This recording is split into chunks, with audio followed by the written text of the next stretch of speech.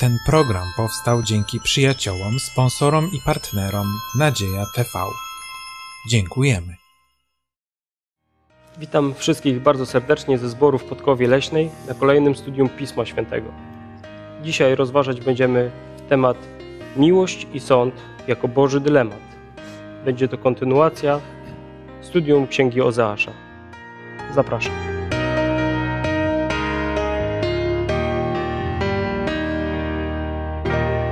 Nazywam się Konrad, a ze mną dzisiaj są Ryszard, Ewunia i Zbyszek. Zanim rozpoczniemy naszą dyskusję, chciałbym, żebyśmy się pomodlili. Ukochany Ojcze, dziękujemy Ci w szczególności za ten szabat Twój święty, a nade wszystko za to, że prowadzisz nasz. I teraz w tej mocy swojej Duchem Świętym daj nam, Boże, mądrość, byśmy te rozważali Twoje słowo z Księgi Ozeasza i prowadź nas sam. Amen. Amen. Powiedzcie mi, czy to jest właściwy temat, tytuł lekcji? Czy Bóg ma dylemat, czy kochać, czy sądzić? Albo inaczej, czy karać, czy nie karać? Kiedy stosować e, uniewinnienie, kiedy ukarać człowieka? Zbyszku, jak sądzisz? Pomyślałem o, o sobie jako o rodzicu i w pewnym momencie, jak widzę niewłaściwe postępowanie syna, czy go ukarać? I dać mu do zrozumienia, że to, co robi, jest niewłaściwe, ale wtedy pojawia się inny dylemat, bo w zależności od tego, w jakim jest wieku i czy tam jakiś wcześniej błędów nie popełniłem, ale ten sam dylemat stoi przed każdym, staje przed każdym rodzicem w momencie, kiedy widzi niewłaściwe postępowanie dziecka. Kocha to dziecko, chce dla niego jak najlepsze, najlepiej, ale niekiedy już słowne perswazje, niekiedy nie pomagają, już nie ma innego środka, i niekiedy musi zadecydować, że musi wkroczyć dyscyplina, musi wkroczyć coś, co jak gdyby przemówi do, do, tego, do tego dziecka, czy to do tej drugiej osoby. Kiedy mówimy o dziecku, jest to łatwiej nam zaakceptować, bo kształtujemy pewne postawy. W przypadku, kiedy się spotykamy z osobami, które są już dojrzałe, ten problem staje się większy. I tutaj widzę pewien ten dylemat Pana Boga, dlatego że jak Pan Bóg, tu jest jeszcze taka sprawa, że tak Pan Bóg dokonuje pewnej oceny, pewnej zbiorowości, a to już samo w sobie jest o wiele trudniejsze niż dokonywać indywidualnej oceny. No popatrzmy, staniemy przed, mamy gromadkę dzieci i wszystkie porozrabiały. I teraz jak sprawiedliwie rozłożyć tę e, i miłość i jak gdyby pokazanie, że ich czyn był niewłaściwy. Mhm. E, I to jest pewna trudność, przez którą my jako ludzie stoimy. Pan Bóg może nie ma aż takich dylematów, ale to nie jest łatwe w momencie, kiedy musi interweniować jedynym sposobem i skaranie. Mhm. Dziękuję bardzo. Tym bardziej, że pamiętajmy, że Pan Bóg kocha nas wszystkich. Kocha miłością bezgraniczną, taką, jaką my tak naprawdę, wydaje mi się, nie potrafimy kochać. I myślę, że czasami jest to dla niego dylematem, dlatego że staje, tak jak Zbyszek powiedział, przed no, ukarać, nie ukarać. Ale myślę, że czasami y, musi dopuścić do jakichś doświadczeń, żebyśmy właśnie my się opamiętali. Żebyśmy zdali sobie sprawę z tego, no, jakiego mamy ojca. Mhm. A czy pamiętacie wydarzenia w swoim życiu, czy może w życiu swoich znajomych, bliskich, kiedy ktoś mówił, tak, to był sąd Boży, to kara boska mnie dosięgnęła, albo po prostu się zastanawiali, czy sam wpakowałem się w te problemy, czy Bóg chciał mnie czegoś nauczyć. Co powiedzieć takiej osobie? Co można powiedzieć osobie, która zastanawia się, na przykład chora jest, i co jej powiedzieć? To znaczy powiem tak, nie będę mówiła, y, czego to dotyczyło. Y, miało to miejsce y, ponad 20 lat temu, więc to już jest historia kiedy ja uważałam, że ja, ja zostałam ukarana przez Pana Boga i było takie pytanie u mnie, dlaczego? Dlaczego mnie to spotkało? Potrzeba było kilku lat, naprawdę kilku lat, żebym ja zrozumiała, że to, co mnie w życiu spotkało, to tak naprawdę było to doświadczeniem, ale to nie było żadną karą i to jednocześnie uważam, że tamte doświadczenia doprowadziły mnie do tego miejsca, w którym jestem dzisiaj, bo gdyby nie to, ja bym tak naprawdę Pana Boga nie poznała. Rozumiem.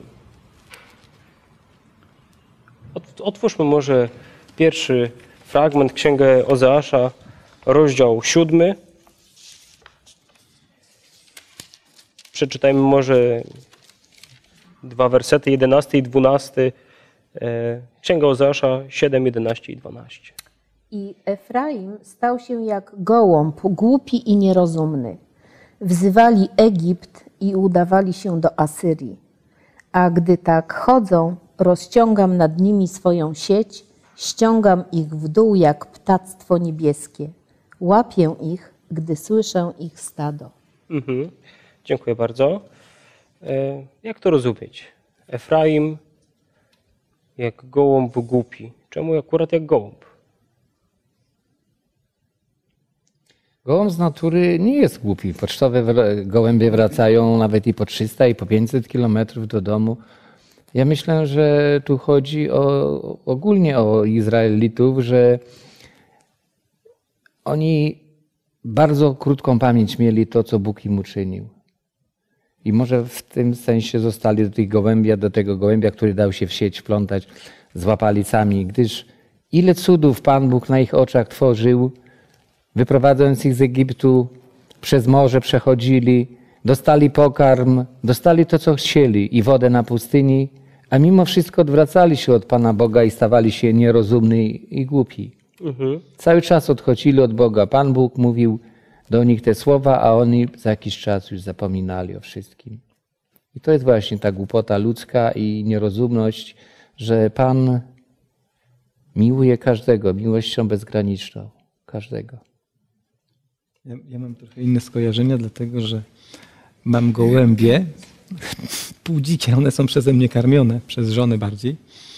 To nieraz jest raz 50 i powiedziałem sobie, że naprawdę bardzo łatwo jest e, złapać gołębia, dlatego że on w swoim jakby postępowaniu jest bardzo naiwny, dlatego że wystarczy mu rzucić ziarna e, i stali gołębiarze wiedzą, co to znaczy, że jeżeli chcą złapać obcego, to on się wypuszczają stado i on zostaje wciągnięty i już jak gdyby czuje się bezpieczny w tym, w tym gronie i nie wiedząc może zostać, po prostu ląduje w miejscu, w którym po prostu czyha na niego, e, już nie mówię nieszczęście w postaci zjedzenia, bo akurat nie, gołębiarze nie, nie na ten cel przeznaczali te gołębie, ale po prostu zostaje uwięziony i złapany w sidła.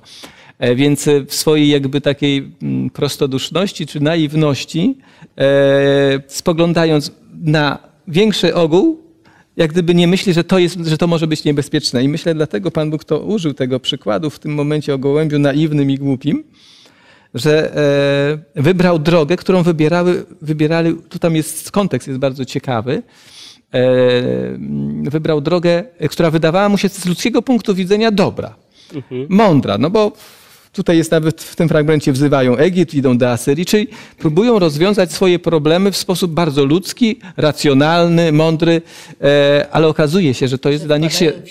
Tak, że ten sposób myślenia jest bardzo niebezpieczny i niewłaściwy i stąd jakby Pan Bóg tutaj taki bardzo delikatny nazywa ich tylko gołębiami, choć gołąb dzisiaj jest symbolem pokoju, ale wtedy jest jeszcze czymś innym, innym symbolem.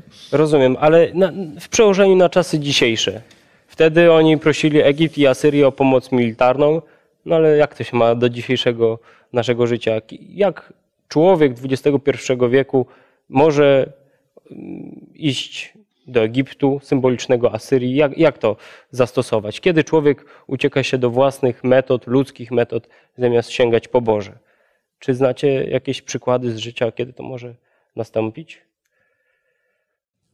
Nie żyjemy w próżni i mimo, że czytamy Słowo Boże, sposób myślenia naszego środowiska, czy tego, co, tego, co nas nauczono, staje się cząstką nas.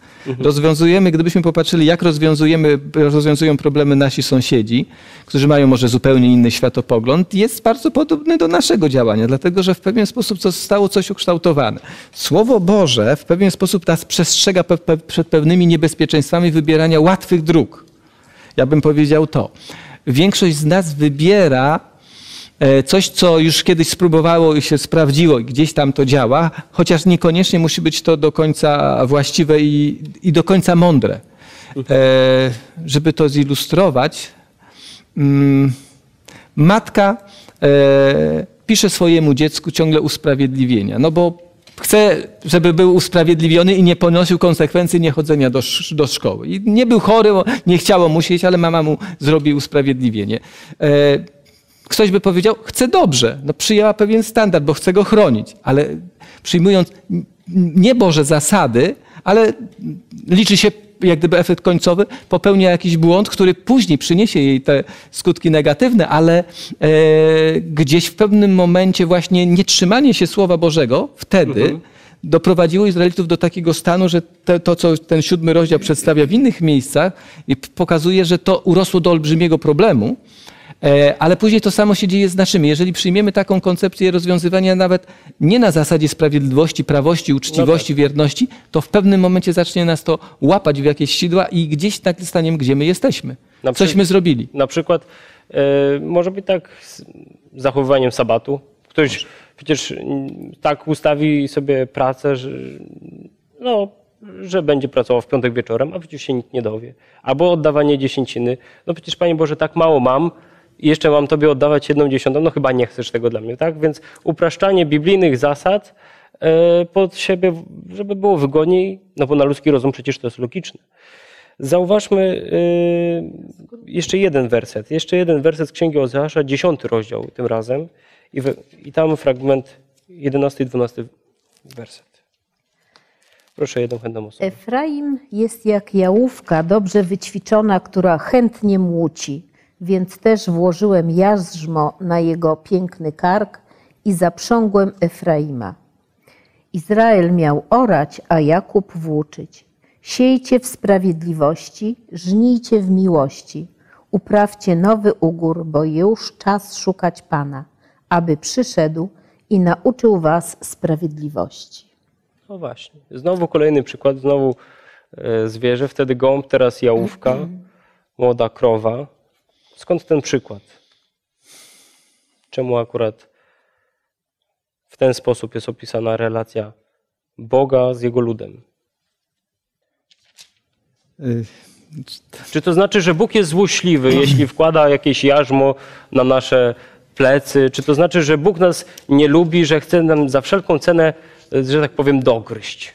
Człowiek, człowiek, Jarzmo to uczy. nie, nie, człowiek zazwyczaj chce iść swoimi drogami. Sam kombinuje na swoje, szuka pomocy nie u Boga, tylko u ludzi. Mówi, ja, ja to sobie zrobię, ja sobie coś wykombinuję, sam sobie pójdę, sam sobie zrobię. I później, gdy już naprawdę nie ma wyjścia i u ludzi nie znalazł nikogo, to co robi? No klęka na kolanach i mówi, Panie Boże, ratuj, Panie Boże, pomóż. A przecież Chrystus tak powiedział, że moje jarzmo jest lekkie. I sam powiedział, oddajcie mi swoje kłopoty, zmartwienia, troski, ja je poniosę. Ale człowiek taki zawsze jest przekora.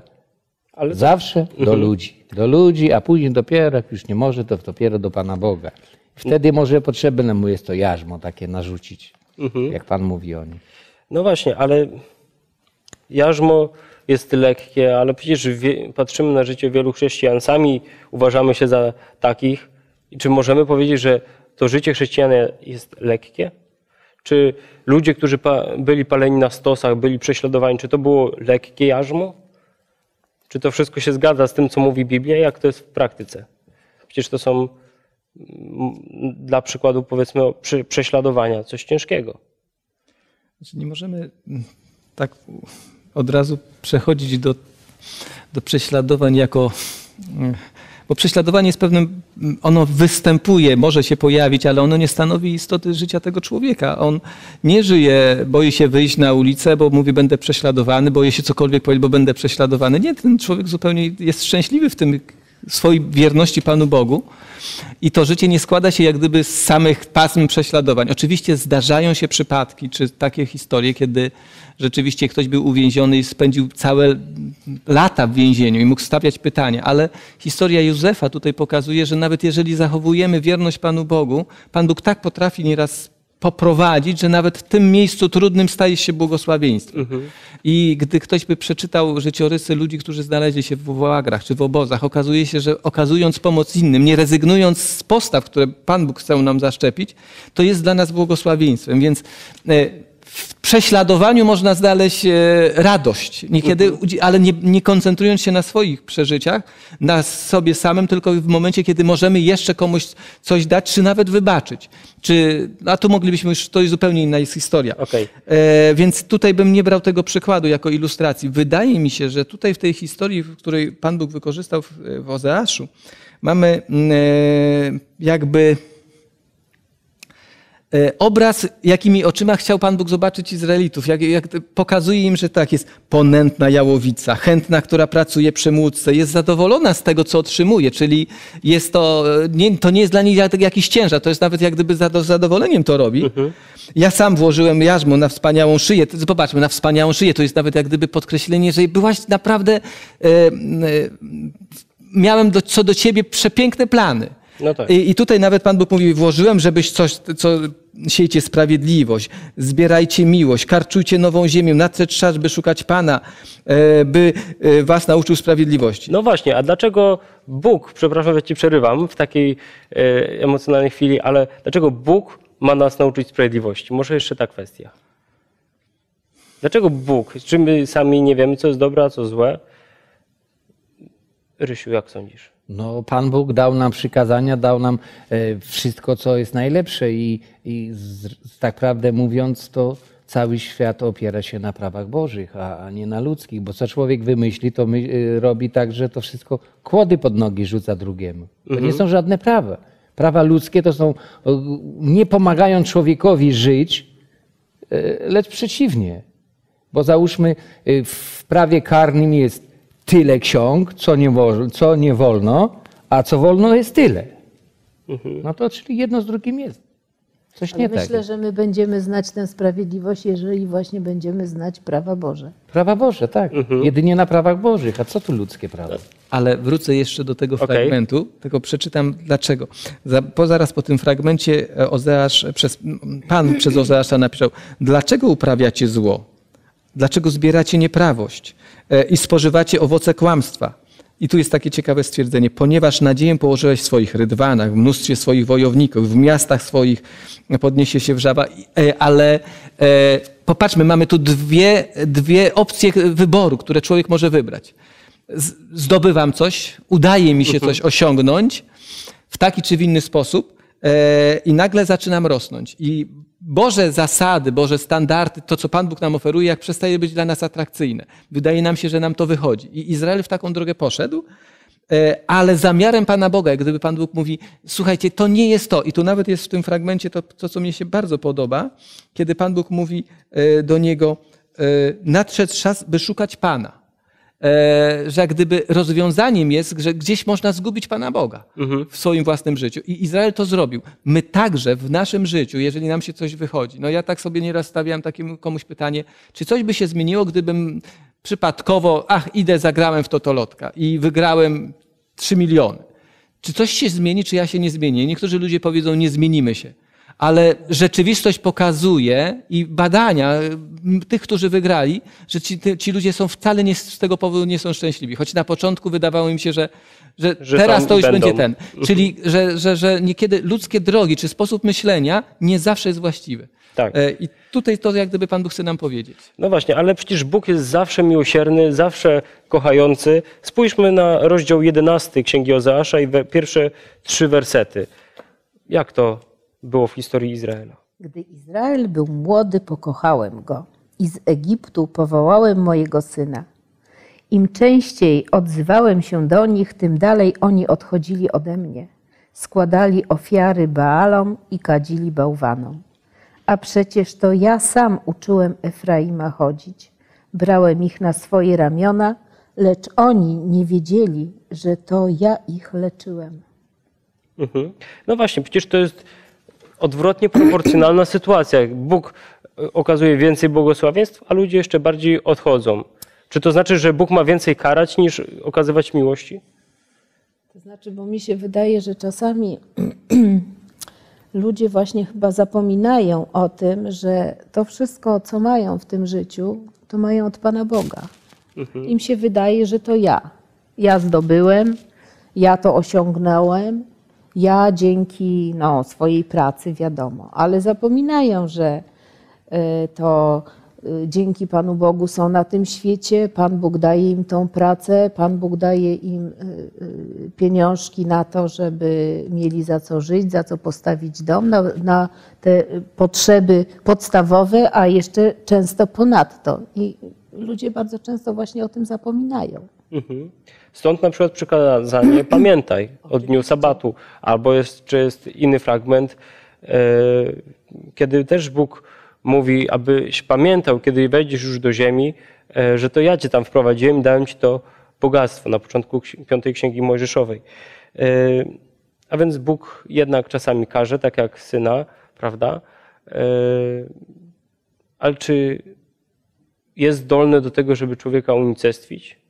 Przecież niektórzy mówią, że Bóg jest taką miłością, tak kocha człowieka, że nie, nikogo nie zabije. Nawet e, może gdzieś tam osadzi w więzieniu tych niezbawionych, ale nie może ich zabić, bo jest miłością. Jak to pogodzić, te poglądy? W pewnym momencie się przekracza pewną granicę e, i ze źródła życia stajemy się źródłem śmierci. E, My nie znamy jako ludzie, w którym miejscu możemy tę granicę przestąpić, ale bardzo taki typowy przykład. Jeżeli mąż pije albo bije żonę, to można by powiedzieć tak, nie, ona będzie tak go kochała, że tam cokolwiek by ją nie spotkało, to jej i tak jej, jej uczucia się nie zmienią. Ale to nie jest prawda. W pewnym momencie, w pewnym momencie miłość do tego mężczyzny, którą miała, ona po prostu umrze. E, I doprowadzi ją postawa tego człowieka. I myślę, że można by to przenieść w naszych postawach. Jeżeli zabraknie tych bożych elementów, tych, tych bożych cech, które Pan Bóg chce nam dać, to w pewnym momencie stajemy się taką zarazą, która niszczy i która. Gangreną. Tak. I niekiedy Pan Bóg mówi, no próbuje na różne sposoby dotrzeć do człowieka. Nieraz przyjaciele, znajomi, najbliżsi mówią przestań, nie rób, tak nie możesz i tak dalej, ale ten człowiek jak, tak jak tutaj jest Zaślepiony. powiedziane, wzywałem, ale im dalej, a tym dalej, im bardziej ich wzywałem, tym bardziej odchodzili ode mnie. Czyli jak gdyby mieli dość, to co ich pociągało, ich porządliwości, pragnienia, czy to zniewolenie, pchało ich do jeszcze gorszych rzeczy. E, Niekiedy to jest tak, że zatrzymuje się pewien człowiek, bo coś uczyni i nagle się jest wstrząśnięty i zmienia się, ale niekiedy po prostu nie ma, nie ma dla tego człowieka ratunku. Trudno mi jest powiedzieć, bo jako człowiek nie jestem w stanie tego osądzić, gdzie tę granicę człowiek może przekroczyć. Ale o takich przekroczonych granicach mówi Biblia Na i o przykład Boże, potop, między innymi. Sodoma i Gomora. Tak? Y, Mamy tą historię nawet, którą kiedyś studiowaliśmy, to co spotkało Izraelitów i zniszczenie Jerozolimy, prawda? Pan Bóg kiedy szedł i upadał, teraz mieliśmy Wielkanoc, okres Wielkanocy, jeżeli przypominamy sobie ten upadek Pana Jezusa i Pan Jezus mówi, nie patrzcie nade mną, ale nad sobą i nad dziećmi waszymi, bo wiedział dokąd ich zaprowadzi ich wybór. Nie chciał tego, ale no cóż mógł zrobić? E, Jest tutaj jeszcze taki, mm, w tym, w tym fragmencie, mm, tak sobie pomyślałem, czy czasem nie jest tak, e, że niekiedy młodzi ludzie przychodzą, że przestają, chcą sami dla siebie stanowić autorytet? Jest coś takiego, każdy z nas przeżywał, że tata mi tam coś mówił, ale ja, mnie się wydało, że wie, ja wiem lepiej. No tak. Ale niekiedy bywa tak, z tego by wynikało, że niektórzy nie wyrastają z tego wieku. I są ciągle dziećmi. I co nie, nawet już nie są dziećmi, są zbuntowanymi e, młodzieńcami, którym się wydaje, że za nic nie ponoszą konsekwencji i odpowiedzialności. Jak gdyby chcą korzystać z życia, nie biorąc odpowiedzialności za czyny swoje. Rozumiem. I No. gdzieś tutaj, że niekiedy ludzie niekiedy taką opcję chcą wybrać w życiu, no ale w pewnym momencie mówi, nie, tak nie można żyć. Nie ma, nie, nie ma tej możliwości. W księdze Ozeasza spotykamy wiele przestróg i zapowiedzi kary Bożej, że jeśli będziecie robili tak, a tak, spotka was zło. Będzie wojna, będziecie wypędzeni. Ale jak kończy się księga Ozeasza? Czy jest jakaś nadzieja? Przecież czytając, co tam się działo w Izraelu, naprawdę możemy zacząć się zastanawiać, przecież Boża cierpliwość jest ogromna. Jak kończy się Księga Ozeasza, rozdział 14 i tam chociażby werset 14, pie, pierwszy werset tego 14 rozdziału. Nawróć się Izraelu do Pana, swojego Boga, gdyż upadłeś przez własną winę. Mhm. Bóg daje kolejną szansę. że jeszcze mogą się nawrócić. E, prosi. No i w czwartym jest pięknie po, powiedziane, że ulecze ich odstępstwo, dobrowolnie okaże im miłość, gdyż odwróci się od nich mój gniew. A wracając do miłości Bożej, to, to właśnie to jest najpiękniejsze to określenie, że ja Cię nosiłem na swoich ramionach, a Ty nic nie wiedziałeś o tym. Ile razy w mojej drodze tak było, że szedłem drogą tą, którą nie chciałem iść, ale wybrałem, no bo wybrałem świat. I wracając do tego, co Zbyszku powiedział, że człowiek nie wie kiedy. Człowiek wie kiedy. Gdy, ja powiem ze swojego życia, wtedy, gdy naprawdę już nie miałem chleba, nie miałem niczego, gdy upadłem i nie miałem żadnej pomocy od tych rzekomych przyjaciół, od tych rzekomych kolegów, od tych rzekomych niczego, wtedy ja upadłem, można by powiedzieć, na same dno. Ale w tym wołałem do Pana, Boże, ratuj mnie, bo wiem, bo kiedyś czytałem, że Ty jesteś miłością. I Pan Bóg mnie wtedy uratował, przeciął wszystko to moje, wszystko moje przeciął jakby przecięciem brzytwy. I właśnie to jest w tym, jak Paweł zawsze pięknie pisze, że gdy jesteś słaby, gdy naprawdę nie masz żadnej nadziei, a wołasz do Pana, Pan cię uzdrowi. A mimo wszystko Izraelici do tej pory mają pretensje do całego świata, że są dyskryminowani, że, że w Polsce są, e, że są dużo rasistów na, na ich temat, że, że w ogóle złe słowa się mówi. Ale czy w rzeczywistości oni pozwalają dojść do siebie na przykład, czy pozwalają e, powiedzieć, że Chrystus, ten Zbawiciel, którego oczekuje, już jest? Nie pozwalają tego powiedzieć. Oni cały czas są mhm. zamknięci w swoim kręgu. Ale przecież weźmy przykłady z całego, całej jej historii, jakie oni robili, y, robili cuda. Przecież nawet weźmy Sodomę i Gomorę, tu gwałcić chcieli chłopów. Tutaj tak samo, co Zbyszku, żeśmy opowiadali o tej żonie, która z mężem się poróżniła i uciekła. To w tym mieście lud gwałcił tą, tą jego żonę. Mhm. I co wtedy ten człowiek zrobił? Ten człowiek zrobił wtedy, że pociął żonę na 12 kawałków i rozesłał po całym y, plemionach Izraela. Nie było takiego jeszcze krzyku i takiej ohidy, co oni zrobili. Tak, tak. Ale Bóg mimo wszystko nadal ich kocha, nadal ich przywraca. I to są takie słowa, można by powiedzieć, ja to rozumiem to, że, że Chrystus, y, Bóg z rozpaczy woła.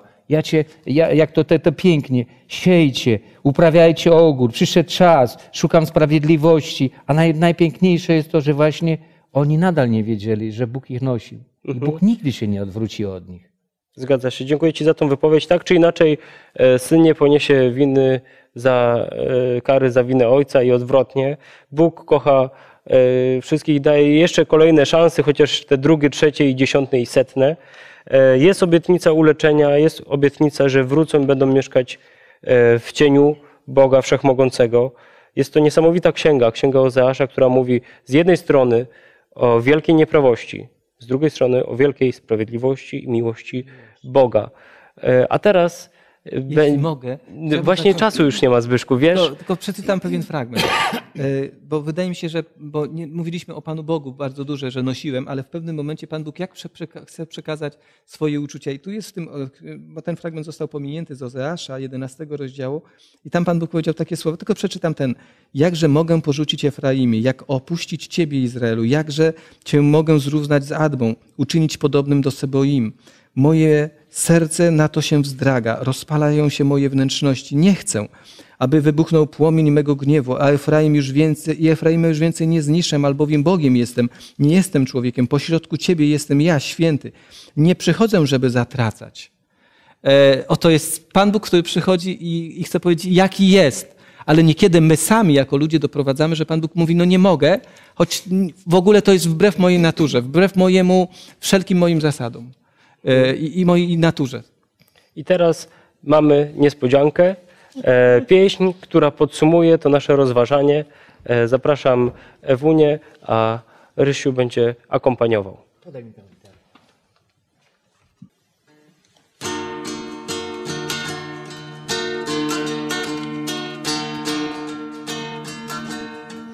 Wysłuchajcie mego głosu, Czyńcie to, co nakazuję, a będziecie ludem moim przez cały czas.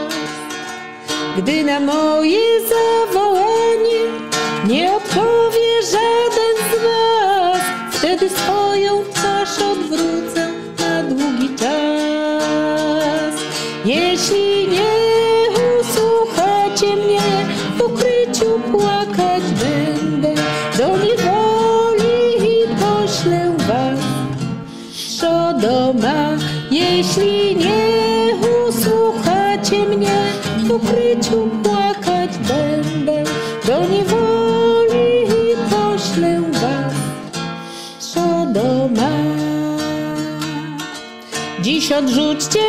wasze troski, obrzydliwość w sercach waszych.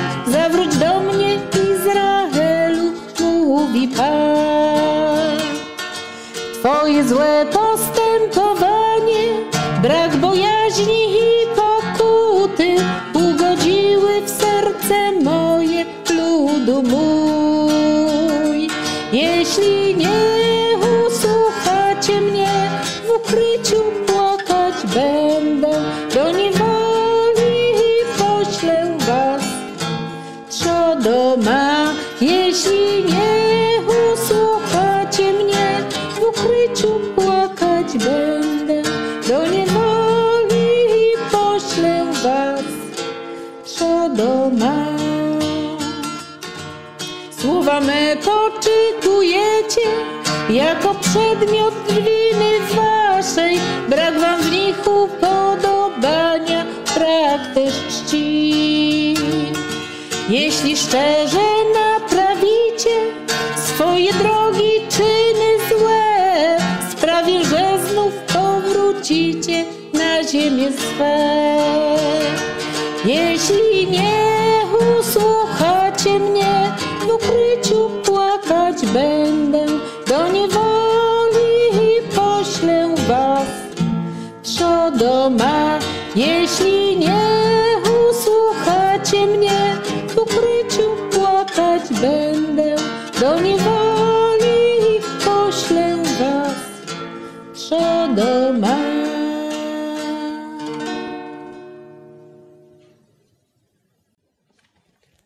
Dziękuję bardzo za, za pieśń, za dyskusję. Chciałbym, abyśmy zakończyli nasze studium modlitwą razem ze Zbyszkiem. Ukochany Ojcze, cóż możemy powiedzieć? Niekiedy w naszych wyborach nie zawsze wybieramy Twoje drogi, ale Ty okazuje się, że jesteś bardzo cierpliwy, dobrotliwy, miłosierny. Spraw, Panie, abyśmy umieli rozpoznać, na jakiej ścieżce jesteśmy. Dawid też się modlił, Panie, pozwól mi poznać drogi moje dokąd mnie prowadzą. Spraw, Panie, abyśmy, aby nasze drogi były Twoimi drogami, na których możesz położyć pieczęć, ale także powiedzieć: Dziękuję Ci, dziecko, że tą drogą idziesz. Spraw, Panie, abyśmy tę drogę wybierali. A jeżeli nawet gdzieś zboczymy, Panie, bądź dla nas miłosierny i spraw, abyśmy jak najszybciej się opamiętali i do Ciebie powrócili.